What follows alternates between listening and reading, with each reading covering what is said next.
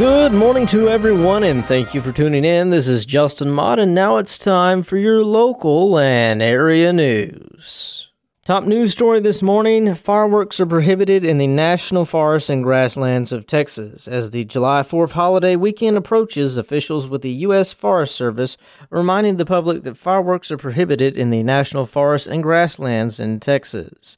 Fireworks can potentially cause a fire and Forest Supervisor Eddie Taylor says law enforcement personnel will be watchful again this year. In center, some summer baseball tournaments are coming up. June the 29th will be the first baseball tournament on my list. July the 6th will be the next. July the 13th will be the next baseball tournament. And the Little League World Series is coming here to Center, Texas, July the 20th through the 23rd.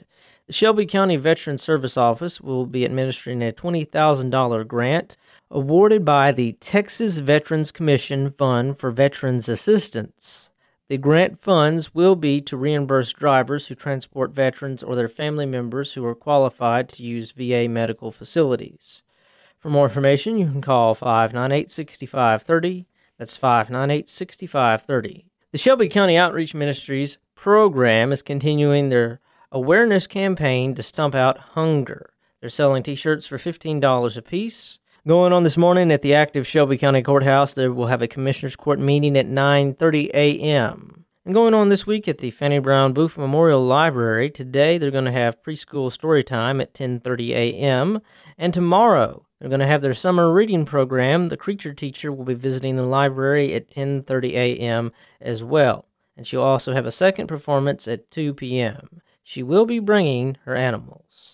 And now moving along in your rush report this morning in Shelby County. Juanita Briggs, age 35 of Joaquin, manufacture and delivery of a controlled substance. Raymond John Fleming, age 34 of St. Augustine, forgery, three counts engaging in organized criminal activity, fraud, theft of ID, and theft of livestock out of Clay County.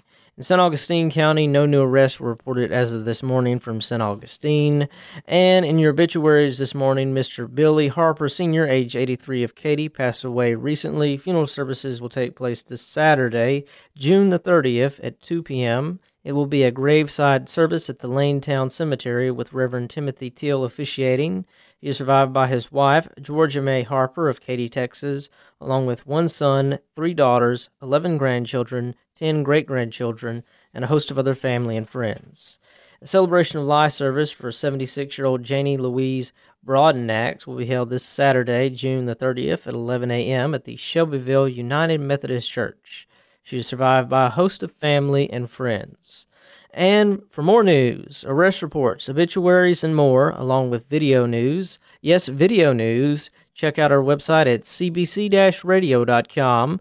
That's cbc radio.com, keeping you connected wherever you go. Follow us on Facebook at Center Broadcasting Company on Facebook for updates from our area. And as always, this has been Justin Mott telling you to go out and be amazing.